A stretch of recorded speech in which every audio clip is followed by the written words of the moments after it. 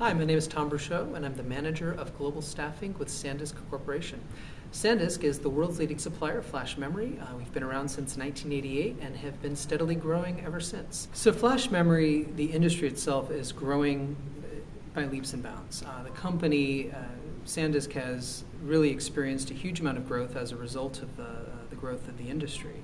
Um, but the industry itself, we see it expanding a lot over the next number of years. The flash memory space, while it is growing, is still uh, relatively small uh, as you compare it to the other um, uh, engineering uh, specialties. Mhm. And so there are a, a, a good number of companies that are developing flash memory, but there are um, there's a lot of competition for the top talent. And so while we can find great people, um, it's often very tough because uh, other companies are also looking for these people.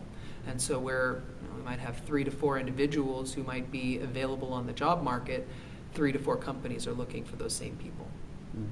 Um, we are always looking for really great engineers, uh, design engineers, um, specifically uh, memory design engineers, device engineers, product engineers, test engineers, uh, firmware engineers. Uh, you can see the theme.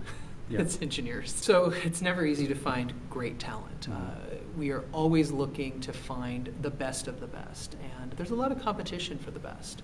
Uh, a lot of companies are looking for great engineers, and we really, really push the envelope to try to find the best and to attract the best and to make offers to the best and to bring them into, into SanDisk.